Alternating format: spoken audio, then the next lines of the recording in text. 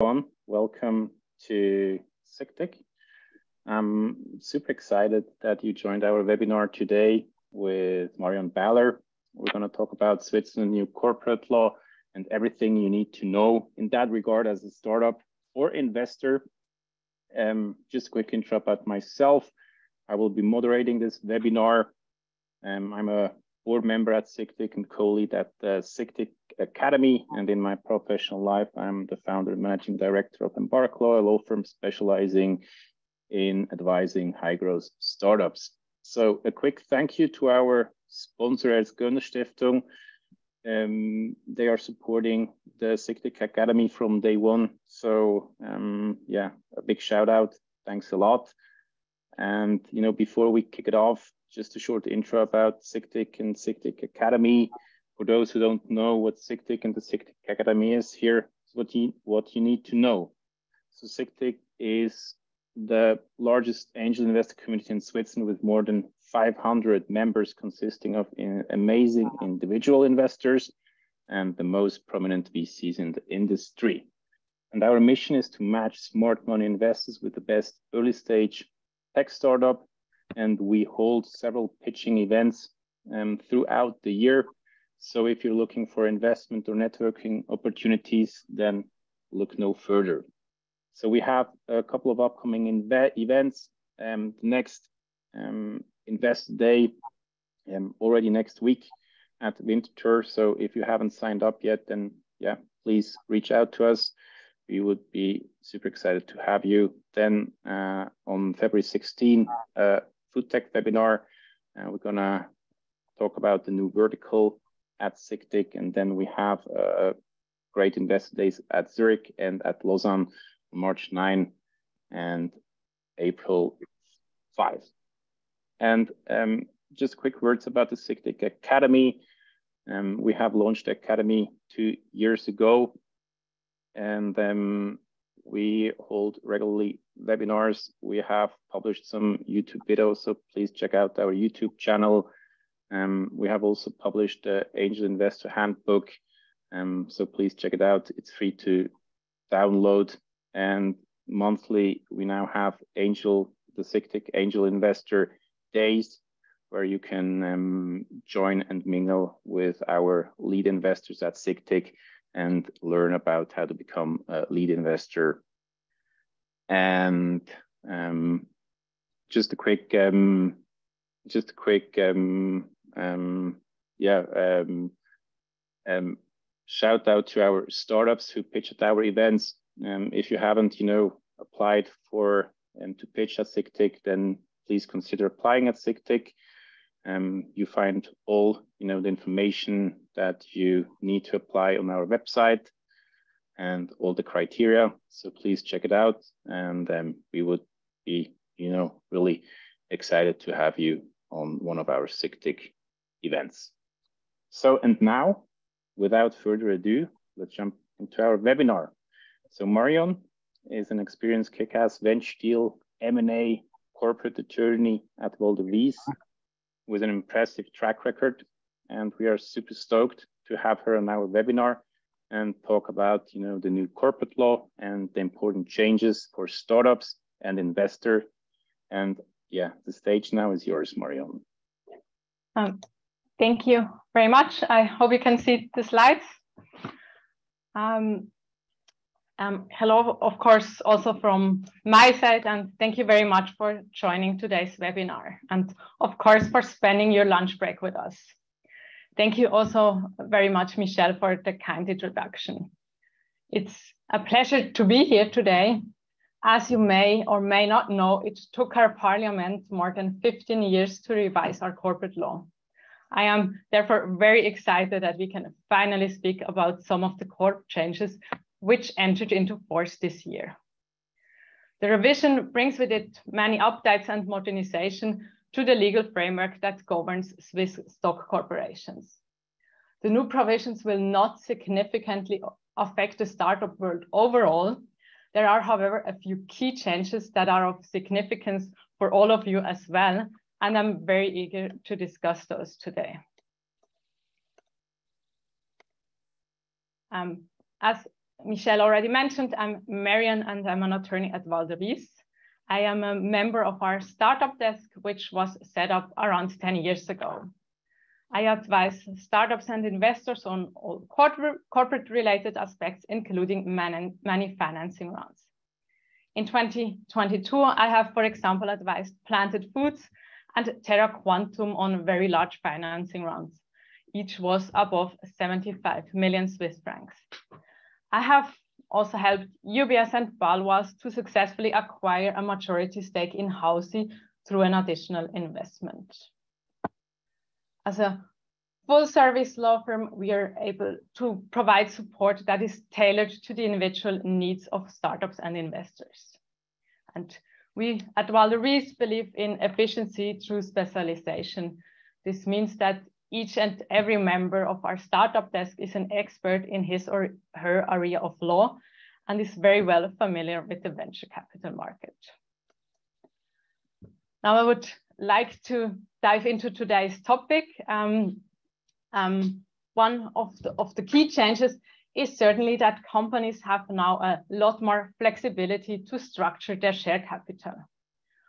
What has remained unchanged is that the minimum amount of 100,000 Swiss francs still needs to be covered. Already before the revision, a company was allowed to keep its books in a different currency. This then affected all corporate related aspects as everything needed to be converted. For example, when one needed to assess whether the company is over indebted or to calculate the dividend. These inconsistencies can now be eliminated because under the new law, the company is also allowed to keep its share capital in a foreign currency if certain requirements are fulfilled. In particular, it needs to be material for the business and the accounting has to be done in the same currency. It should be what, kept, sorry? So what does that exactly mean? You know, it's it's it's much easier to basically assess whether there is a capital loss or the company is over indebted or what does that exactly mean? Yes, before you always had these in, inconsistencies because you had the, the functional currency in the books, which was maybe US dollar, but then um, um, when you wanted to distribute dividends, um, this still needed to be calculated also um, by referencing Swiss parameters because there are, are of course some some amount of the share capital that you may not distribute. And because the share capital was in Swiss francs, you always had to basically have two separate bookkeepings um, to, to keep um, track um, on, on what exactly that means. Um, yes. Yeah. Um, Thank you, Marion, clarifying that. And what um, needs to be kept in mind is that not all currencies are permitted. Um, so the, the directive issued by the Federal Council currently only lists the five most traded currencies in the world. Um, this was primarily to ensure that no weak currency is used and then at the later stage, the, the minimum share capital of 100 Swiss francs is not covered anymore if it, if it loses too much in value.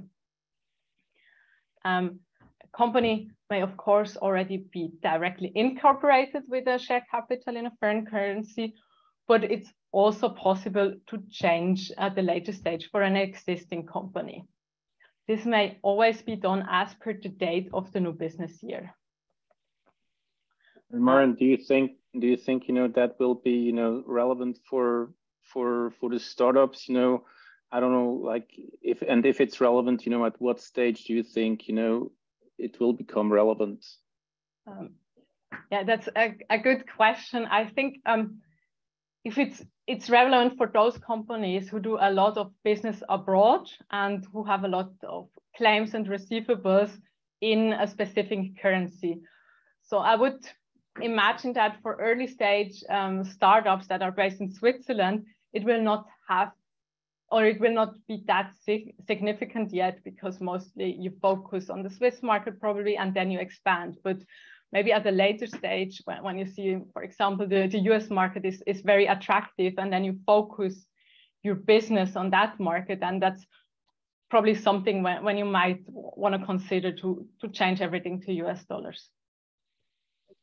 And uh, I don't know if you remember, you know, we quickly talked about this, you know, um, like yesterday that actually, you know, today a lot of startups are have, you know, a nominal value, you know, in Swiss francs, but raising capital, you know, in US dollars or other foreign currency.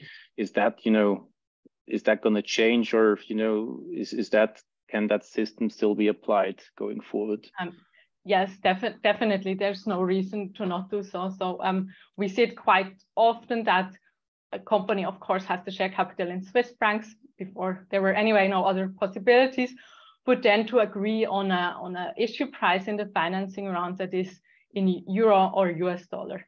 Um, the practical hurdle here is to find a bank that is willing to open a blocked account in the relevant currency. But at least the, the big players, they are typically quite open to do so, at least when a, a more co common currency is, is, is requested, such as US dollar or, or euros. Right. Mm -hmm. um, and, and another big change is that um, a company may now also issue shares um, that have a nominal value which is smaller than one Swiss cent. The rationale for, for this change was to introduce or to facilitate share splits. But honestly, other than this, we do not see a lot of, of benefits. Um, in particular, a tiny nominal value and the corresponding huge number of shares will add an additional layer of complexity in the cap table of a company. And for startups, which often have already a very complex and super dynamic cap table, this might not really be um, a desired outcome. So you, you wouldn't recommend, you know, startups to basically issue like a gazillion shares just because they can do it?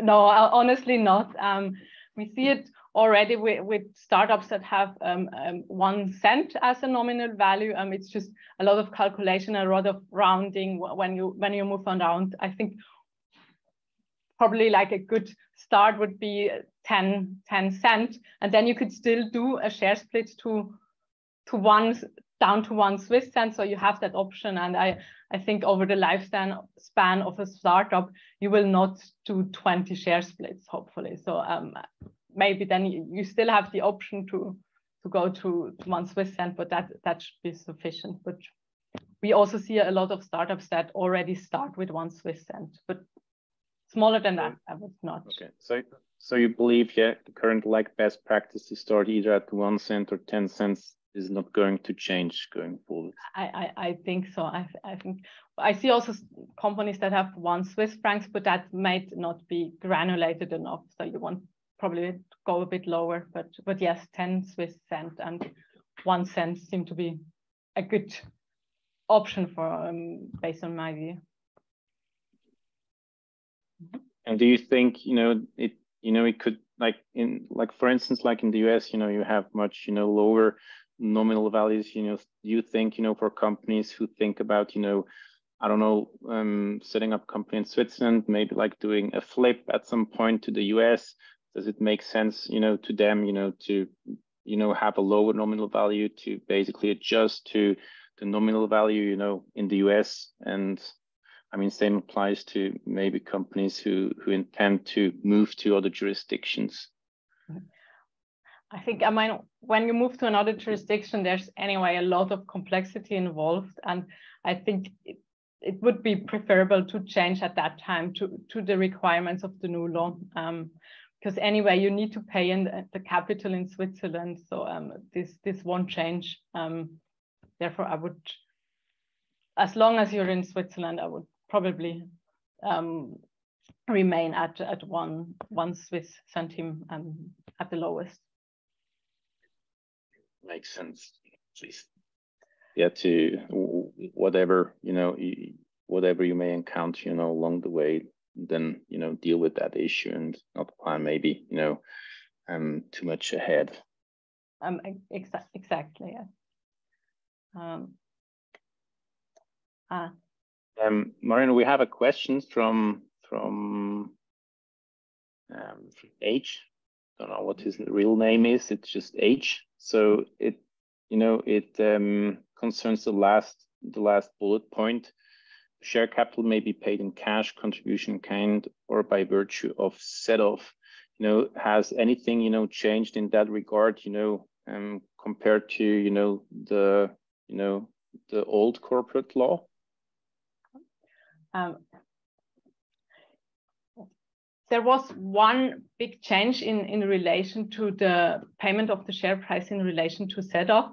And I'm gonna talk about this um, in detail um, in, the, in the next couple of slides. So I will, I will not go into that, that now. And other than that, it has it essentially remained the same. Um, maybe to what is worth mentioning here is that um, the um, beabsichtigte Sachübernahme, so the intended acquisition in kind, um, no longer is a qualified um, item when incorporating or making a capital increase. This often lead, led to very complex structures because you had to value and then um, it was super complex. So this is not um, not applicable anymore. That's maybe what I can add here.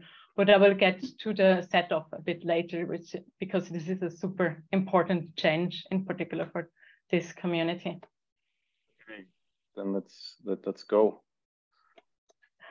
Um, what is of course also very relevant for, for startups and investors is how um, the share capital of a company can be increased. And maybe to, to start here, the, the concept of an ordinary and a conditional capital increase have essentially remained the same. So there were some flexibilizations, but no major changes. And the same also applies in relation to a classic capital decrease. Um, the major change here is that the authorized capital was replaced with a capital band. This is essentially an authorization of the board to increase and decrease the share capital within, within a set upper and lower threshold. Um, the maximum um, may, however, not be more than 50% above and the minimum not, not more than 50% below the current share capital. Um, if a company also has conditional capital, which is of course often the case um, in startups because they use that to issue options under the um, their employee um, incentive plan, the upper and lower thresholds of the, of the share capital or the capital band are dynamic. This means that whenever the board updates the share capital to register a new option, it will also adjust the upper and lower threshold of the capital band. Um, the, the maximum duration of a capital band is five years, but it is automatically cancelled before if the shareholders resolve on an ordinary capital increase or decide to keep the, the capital in a foreign, foreign currency um, going forward.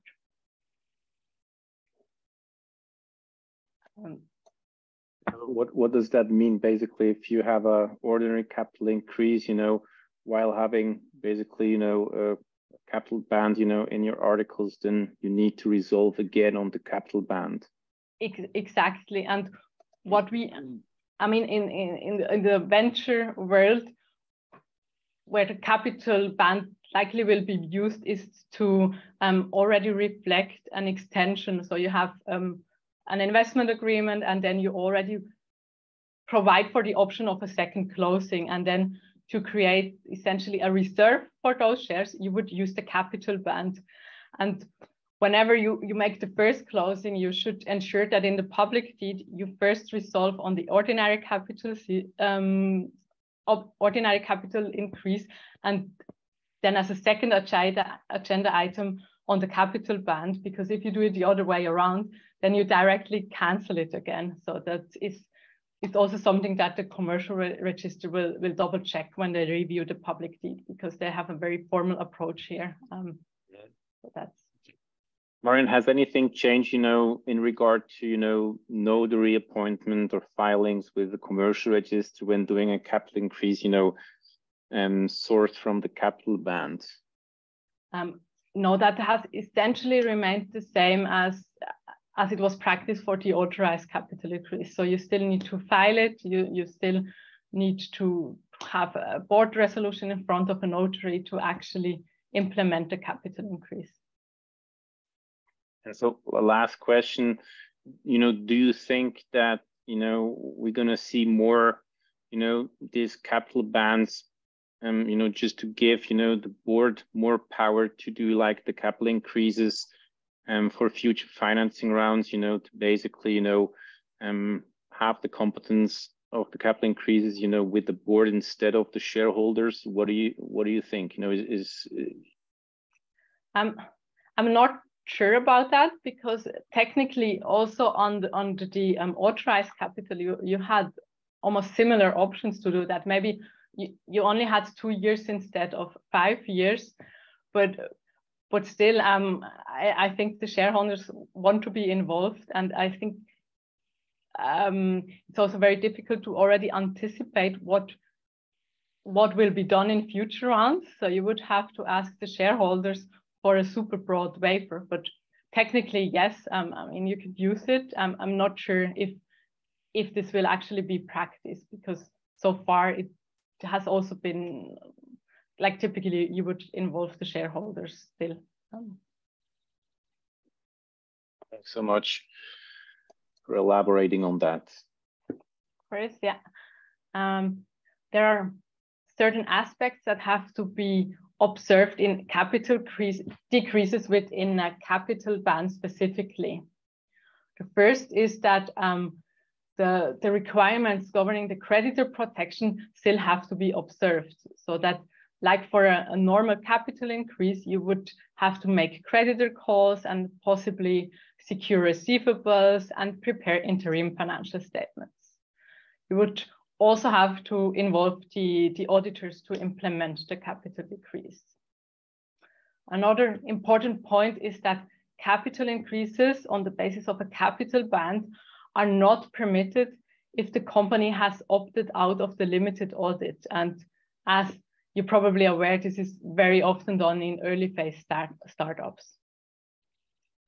Um, so that that means basically if you would like to do like a capital decrease you would have to you know first elect um, auditors right exactly yes and there's one important point that I, I want to flag here in, and it's that under under Swiss tax law the amount of the newly created capital reserve um, and of the stamp duty is assessed upon the end of the capital bond band only um, so um, tax authorities will look at it from a, a, net perspective at the expiry or cancellation date of the capital band. Um, this is very technical, of course, but for, for you, it is important to, to keep in mind that capital, in relation to capital decreases, this tax principle will likely lead to income and withholding taxes for the shareholders. Um, and the concept um, should therefore be carefully evaluated be, before a capital band that also permits decreases and not only increases is implemented um, at the company level. And I think given these drawbacks and limitations, um, it remains to be seen in practice whether the, the capital band and these nice futures will be successful actually. Um, I think chances are that it might also only be used to replicate the, the concept of an authorized share capital as it was used today, essentially.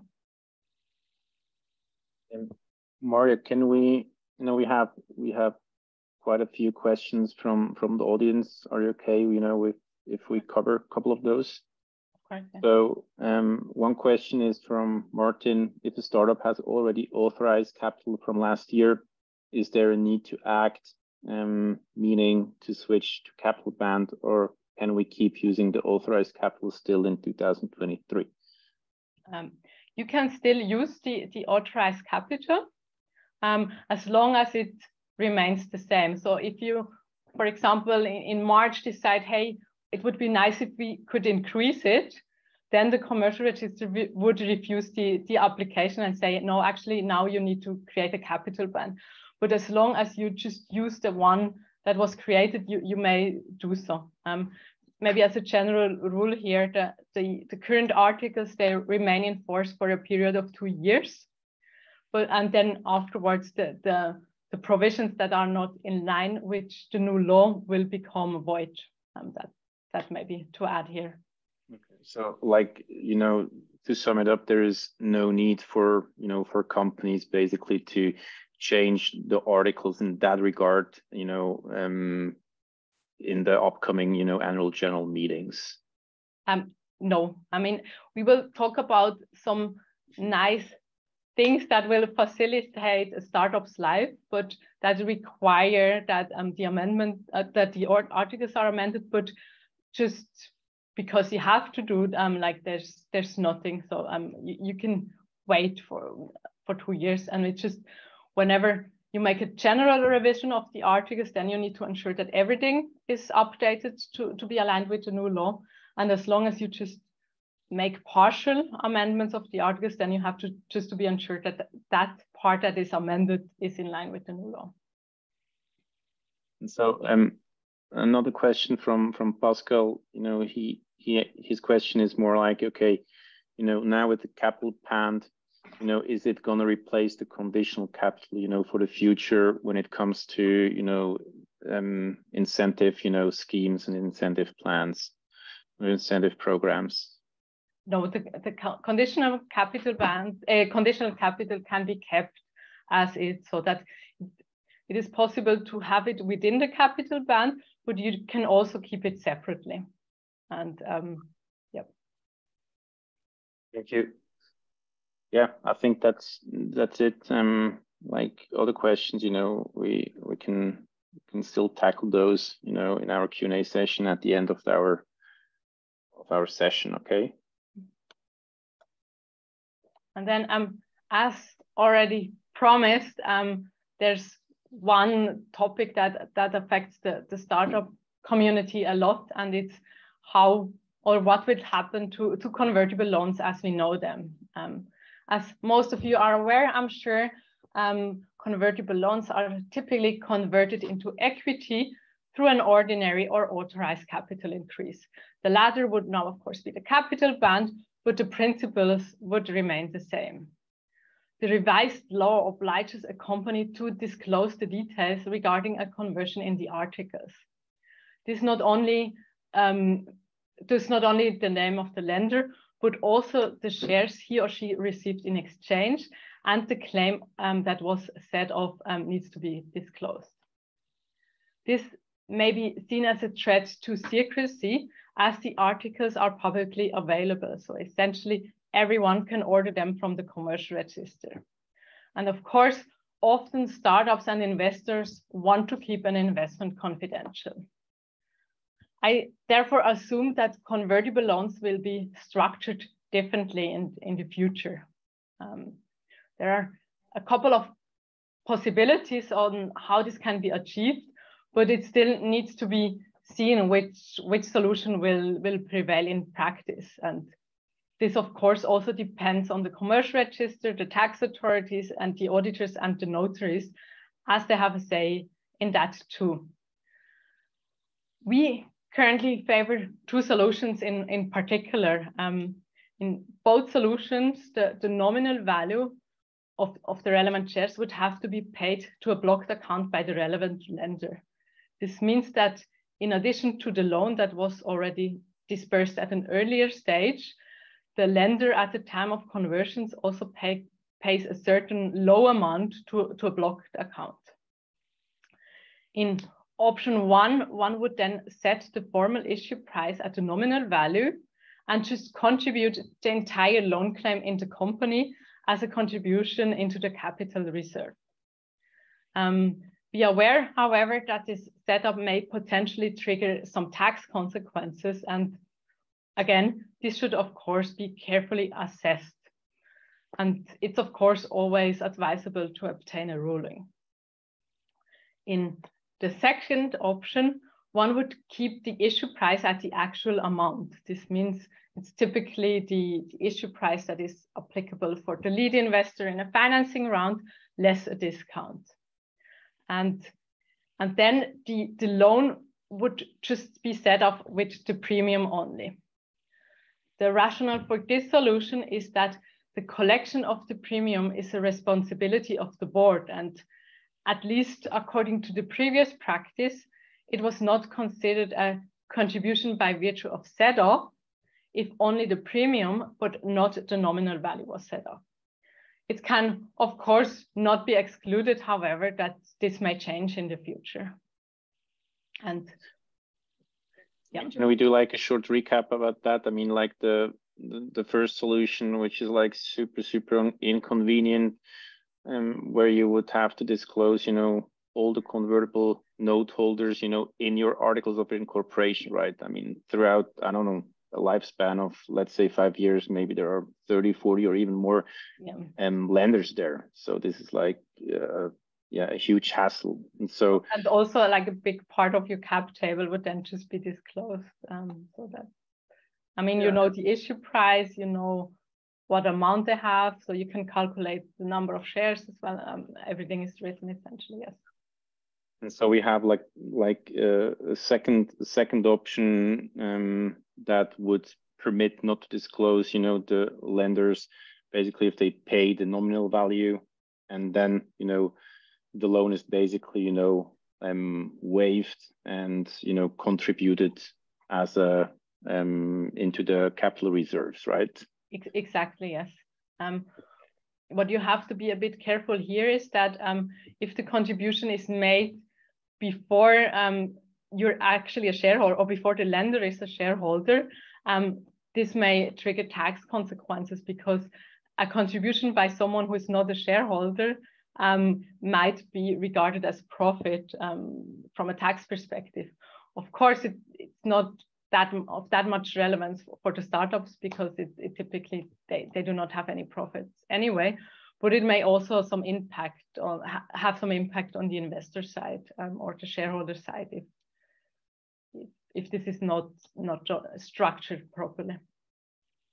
And like the third option would be to that the convertible note holders pay the nominal value of the shares again. Mm -hmm. And then basically the board, you know, decides to use the loan, you know, to mm -hmm. pay in the, you know, the outshore, right? Yeah, yeah. I mean, already on the on, on the, the old law, you could just write in the public deed, um, yes, we confirm the nominal value has to be paid in, and the collection of, of the agio is the res responsibility of the board. And then it's essentially up to the board on in what way it um, it, it collects the agio. And at least as I mentioned under the previous law, even if you then decide, hey, we set it off with an existing claim, it was not considered a Verrechnungsliberierung.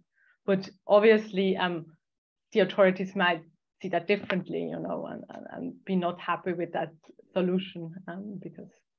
So it remains to be seen whether, you know, how that practice is going to evolve. And I mean, those two, you know, like, you know, options are not yet tested. And yeah, I mean, people exactly. should definitely, you know, get some professional advice from you or from from someone else you know if they you know want to go you know um yeah if they want to opt for that right. Um, absolutely we are of course also aware of any changes and then we, we're in close contact with the commercial registers and notaries so we we we will certainly be aware of what is the current practice and i think it's very important to monitor that yes. I think what is also like super you know like the what also changes is that you know if you opt for for one of those options, you know that the convertible loan holder, you know, needs to pay, you know, the nominal value, you know, into the block capital account. You basically also need to change the convertible note agreements, right? Exactly. Yeah, you should already anticipate a, a different structure. Definitely. So like the message to, you know, startups and investors also, you know, if you, you know, issue any convertible, you know, debt or loans, then you should definitely, you know, make sure that you somehow cover that. And um, so you can be flexible in whatever, you know, um, whatever form, you know, um, the deal will go through. Clear. Um, we have a lot of questions again. Oh. I'm having a hard I'm having a hard time to cover all. Yeah, just just go ahead, Marion. I okay. will quickly scroll through the question and then we're gonna, you know, maybe, you know, tackle yeah. some before we move to the Q&A. Yeah, I will try to, to keep um, this slide brief, even though it's, it's a very important topic because um, under the new law, there are considerable flexibilizations made um, in relation to the holding of shareholders meeting. It is now, for example, possible to hold meetings at two or more different venues at the same time. And you can also hold meetings abroad if this option is provided for in the article, articles of, of the company. Um, this does, however, not mean that the chairman can decide to, to hold the next um, ordinary shareholders meeting during his vacation on the Easter Island. The reason for that is that um, while the venue can be anywhere in the world, there still must be reasonable grounds for the choice. And just the beauty of a destination as such would not be sufficient because the reasons, of course, need to be somewhat connected to, to the company's business. And um, another big change um, that will bring about a lot of um, simplification is that now also on a shareholder level, you can take circular resolutions. And these resolutions may be taken in writing or in electronic form. And I will go into detail a bit later into presentation as to what electronic forms exactly means. Um, this now also permitted to, to hold virtual meetings. Again, this is only possible if you have this option included in the articles. And lastly, of course, also a mix between uh, physical and virtual participation is possible. The choice and setup of, of a digital, digital shareholders meeting is the board responsibility and it needs to ensure the integrity and transparency of, of, the, of the digital meeting and the voting process. Um, so let's imagine um, we're in the middle of a shareholders meeting and that is held over Teams and then suddenly everything breaks down. Um, what would the chairman have to do? Um, so if technical issues arise during a virtual meeting, it needs to be reconvened. And for this reason, I strongly recommend that the startup or the company already announces a backup date in the original invitation. Otherwise, one has a otherwise one has a risk um, that one has to wait another period of 20 days to finalize an interrupted meeting. Even if one person drops out, oh. then you would have to reconvene the meeting, right? Um, well, this is not applicable if the technical problems only fall within the sphere of an individual shareholder, luckily. Otherwise, it would get super complicated. Um, so, so yes, what, what I said is only if, if the actual, like the meeting organizer and, and therefore the majority of the meeting cannot be, be continued anymore. And maybe to, to add here, um, any resolutions that were taken before such problems occurred still remain valid.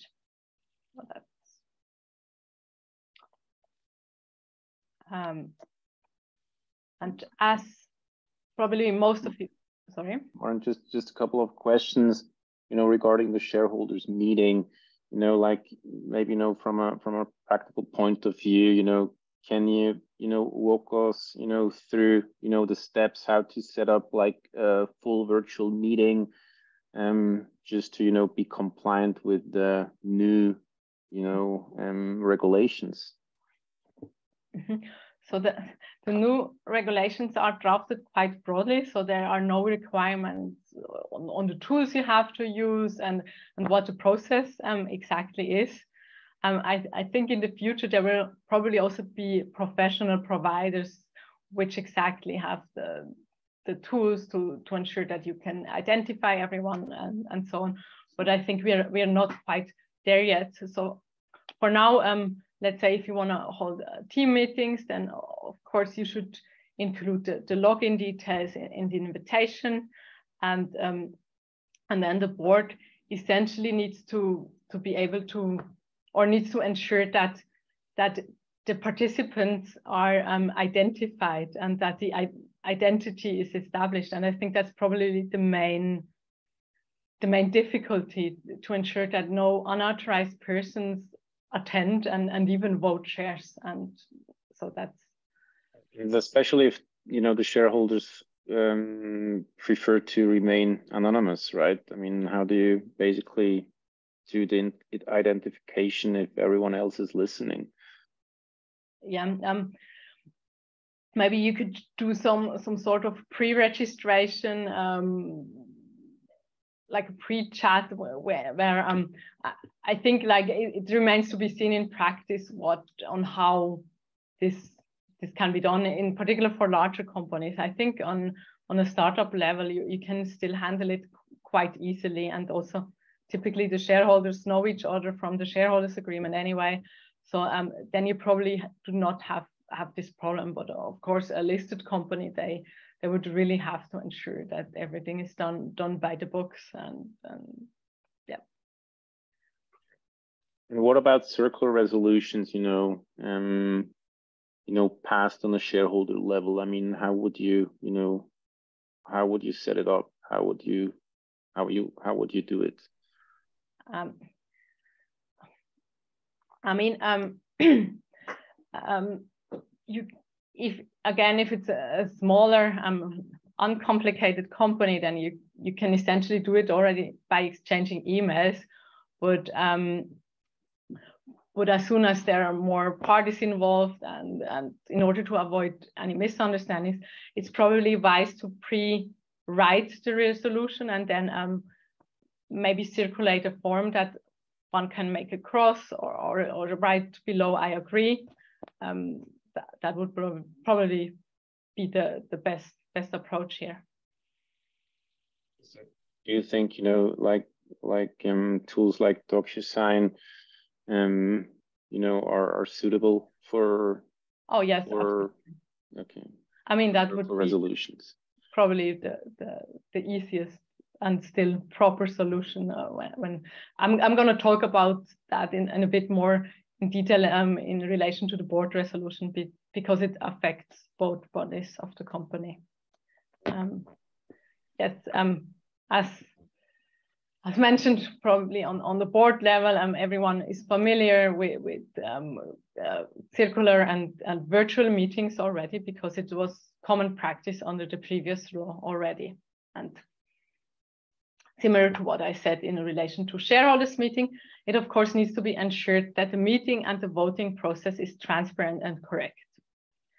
Um, the big change here is that circular resolutions may now also be taken in electronic form. And this means, uh, as, as we have just mentioned, not only DocuSign and similar tools, but essentially also over WhatsApp chats and emails. And however, still not a, a, good idea to just file a screenshot of a WhatsApp chat with, with the commercial register. And the reason for that is that the commercial register um, ordinance still um, provides that um, the relevant documents need to be executed in handwriting or at least by virtue of a, a qualified electronic signature. And uh, a screenshot of a WhatsApp group does, does not fulfill that requirements. And maybe to add here, um, should of course, like despite these flexibilities, it should still be kept in mind that um, resolutions also serve a, evidentiary purposes and should therefore be carefully documented and be kept in the company files. And again, to, to bring up the example with, with the WhatsApp group, this is probably not done in practice then. Um, it will just get lost and, and you can't trace it anymore. And in addition, also very important for, for startup, um, please keep in mind that you may have to disclose the resolution to third parties at a later stage. And let's say you approve the new business plan in the WhatsApp group of the last company's Christmas party, and this will probably not leave the best impression with a potential investor that is conducting a due diligence. Or at 3 a.m. with a couple of smileys and typos yeah, in there. Exactly. So it just, I think yes, we now have these vast, much vast opportunities to, to conduct uh, or to, to resolve on matters, but I think these points still need to be kept in mind. So the, the filing with the commercial register, the documentation purposes, and, and also disclosure aspects. It still reflects on you, right? How the way you take, you know, to pass the resolutions. And I mean, it's also, you know, probably, you know, um, a, a good, you know, decision to basically, you know, decide on one of on one electronic communication you know tool and not use you know whatsapp and then sms and then email and then you know docusigns we have like a large variety yeah it's probably also you know um yes makes sense to opt for one and not for several. Exactly. Um so um Marion i have a like question you know like now you know that you know shareholder resolutions can be you know passed you know in virtual meetings or by circle resolution you know um like how do you how is the interplay you know with the with the notaries and the commercial register i mean would i mean how do i get a capital increase you know notarized when having a virtual meeting or a circle resolution? How does that work? I mean, do startups or investors, you know, need to show up at a notary, um, or can that be done remotely? Um, yes, yeah, so um, circular resolutions are are rather difficult um, to notarize because essentially the person needs need to be present somehow. So I think that will be the the super difficult topic.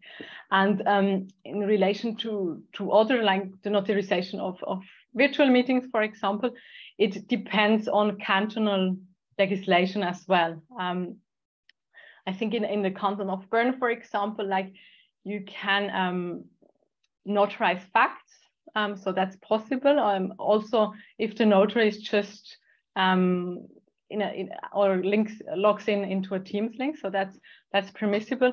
But what cannot be done yet is um, if in German it's called Willensbeurkundungen. Um, there um, the law is, is rather strict and one would still have to be present. But at least our notaries in, in, in Bern, um, they or like when when the, the board needs to to make a, a confirmation of the capital increase, that is something that could essentially be done virtually. But again, it might vary from canton to canton. So much. Um, so we um, already get to the last major topic that I want to discuss today. It's a very important one for startup and it's how it a company needs to deal with, with financial difficulties. And um, I see that the time has already progressed quite much, so I will try, try to, to keep it um, short. Um, what is important to, to keep in, in mind here is that um, the, the relevant provisions have been fundamentally revised and the, the aim was that a company initiates restructuring steps as early as possible and therefore the entire early warning system um, needed to be um, or was redesigned. Um, the, the, the provision um, governing a capital loss and, and over-indebtedness has now have now been supplemented by the concept of imminent insolvency. This means that in addition to the debt and the equity that the board needed to monitor under the old law, um, it also needs to, to monitor, explicitly monitor the solvency of the company. However, of course, already under the new law, the board had, um, of course, an obligation to assess, um, to know whether the company can pay the bills of the next month.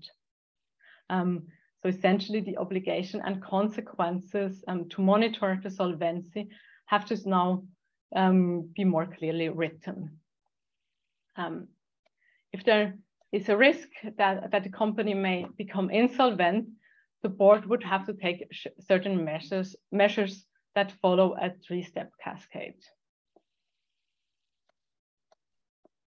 Um, the definition and, and also the measures that um, board could take if, if the company has suffered a capital loss have essentially remained the same. And what has changed here is that a shareholders meeting um, now only needs to be convened if the measures that a, a, board wants to take to, to eliminate a capital loss actually fall the within the competence of, of a shareholders meeting.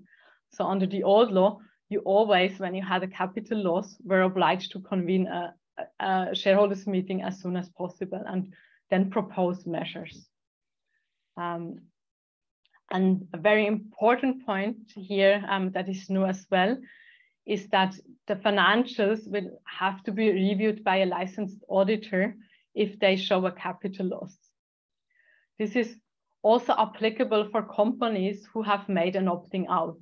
Um, in this case, the, uh, the board would have to appoint an ad hoc auditor. And if this is omitted or forgotten, the shareholders meeting may then on the ordinary shareholders meeting not validly approve the financials. And chances are, however, that especially companies that have not appointed any auditors, and as I said before, this is often the case in early stage startup, do not even notice that they have a capital loss, however. Um, and then also considering that the financials of the of startups due to the high burn rate and the low revenues often show a capital loss. This is certainly a potential pit pitfall for, for many startups in particular. And not only the flag that, that the startup has a capital loss, but also that the financials were not validly approved um, because no, no audit was made is certainly something that um, an investor would flag in a due diligence. Like other than that i mean like what are you know what are the consequences if you don't observe or comply with that? Let's um, say i mean you have a capital loss as many startups you know do you don't elect auditors you know to approve the financial or yeah to approve the financial statements and then you just you know um, continue to operate you know as you know, uh, as usual. Yeah, it, it, essentially, yes. I mean, this essentially a lot of things that is or a lot of obligations um, even if they are not observed um, once the company is still operating and then maybe you make a good financing round then no one will in the backside or care that that you didn't comply with this provision um, but it becomes relevant um, once you become bankrupt because that's when court and creditor and everyone will look um, into details what you have done or what you have forgotten to do or did not do on purpose. That's... So, so yeah, that that also means if you have you know board members that are you know not the founders, they may want you know the financial statements to be audited if there is a capital loss because they you know may face you know personal liability if if if the company goes bankrupt right yeah and we we see it um, quite often honestly that that as soon as investors um, that are a bit i would say more than friends and family only um, invest in the company and that's typically the stage where um, startups would are often required to to um, appoint auditors um, we see that quite often in the in the investment agreement that it's really an obligation to to appoint auditors. It's quite a, a high, you know, I would say a high standard, right? That is required now. Yeah, yeah, definitely. So, what would you recommend? You know, if if if comp if like a startup, you know, knows okay, um, probably we have a capital loss, then you know just first convene a, a general meeting to elect, you know, auditors, or what is the what is the way forward? No, no, actually, the well, if you have a capital loss, then the the board needs to assess well what what do you want to do about it, and if it's for example taking out loans, that is not something that affects the shareholders. So um, you would not have to convene a shareholders meeting just to let the shareholders know that hey we're going to take loan out loans that that was actually practiced under the, the previous law. And, and also to appoint the auditors, you would not have to convene one because the board would appoint them ad hoc. So that would no no shareholders meeting required for that, which makes it of course a lot easier. Yeah. Um, then maybe um, to move to the, to the next topic, um, also the, the definition of an over-indebtedness has not not changed. Um, so if if a company is over-indebted, if its assets do no longer cover the liabilities. Um, if the, the board is concerned that there may the company may indeed be over-indebted, it has to prepare interim financial statements at going concern values and at liquidation values. And again, such financials would have to be auditor. And if there is no statutory auditors, the board would have to appoint one ad hoc. Um, if the financials show that, that the company is over indebted, um, the board has an obliga obligation to notify the court. Um, this notification may be omitted um, if creditors subordinate their claims to the extent of the over indebtedness. One important point that is new here is that, that a subordination, in order to be valid, also needs to cover the interest that is due during the, the period of, of over-indebtedness. And pursuant to the transitional provisions, um, the new law will, upon um, the expiry of a grace period, also be applicable in relation to already existing contracts.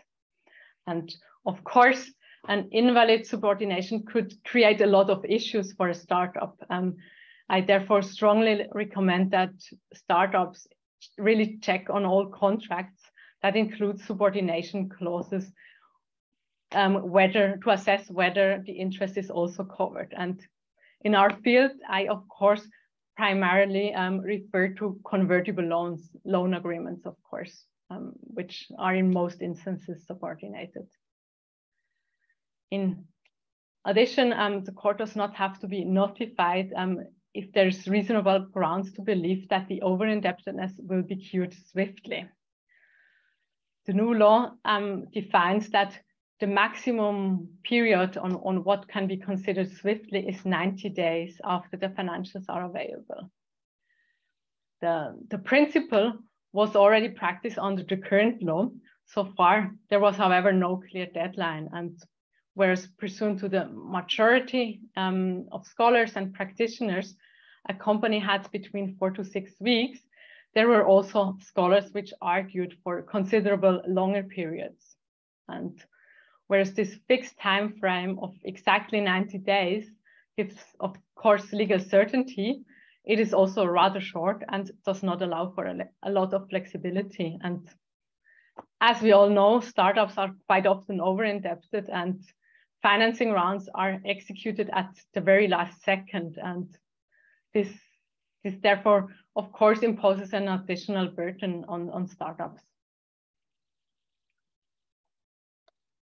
Thanks so much, Marion. Are you are you ready to wrap this up? Um, yes, I'm just getting to the to the last slide. Um, maybe a, a, super short recap. Um, there were some major changes, and it's therefore recommended to review um, certain documents. And this includes the articles. As mentioned, you can essentially wait two years, but if you want to hold um, shareholders meeting abroad or virtual shareholders meeting, you might want to amend them before because otherwise you do not have these options. Um, please also review and revise, if necessary, other documents such as organizational regulations or shareholders agreement. And again, double check any agreements that include subordination clauses to ensure that also the interest is covered. Um, lastly, or ensure that the financial situation of the company is monitored. Um, keep in mind that you now also need to, to um, monitor the solvency of the company in addition to a capital loss and an over-indebtedness. And also, please keep in mind that depending on the financial situation, you may no longer be entitled to make an opting out.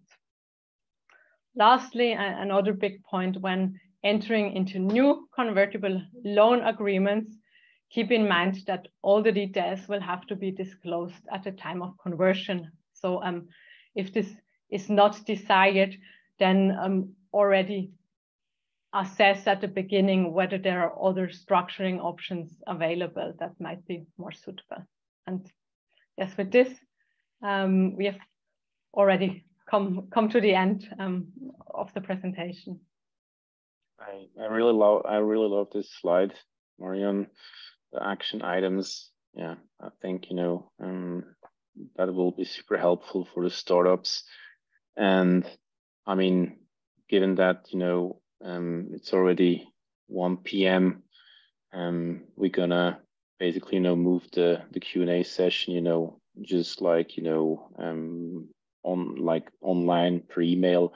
So if you know the audience or anyone you know listening to this um, would like to you know ask a follow up question, then yeah, please reach out to Marion. And yeah, thank you so much for you know joining our um, SICTIC Academy webinar and you know um, showing us what's relevant you know going forward with that new corporate law. And yeah um, thanks a lot. Thank you very much. All right. Then um, we're going to close this session. And um, yeah please for you know all the people who have listened to this um, webinar and um, yeah um, if you haven't reached out you know to SICTIC please um, it. We would, you know, be thrilled to welcome you at our next event. You can download our um, angel investor handbook if you're interested, you know, in learning about, you know, angel investing. And that's it. Thank you so much. Bye. Bye, everyone.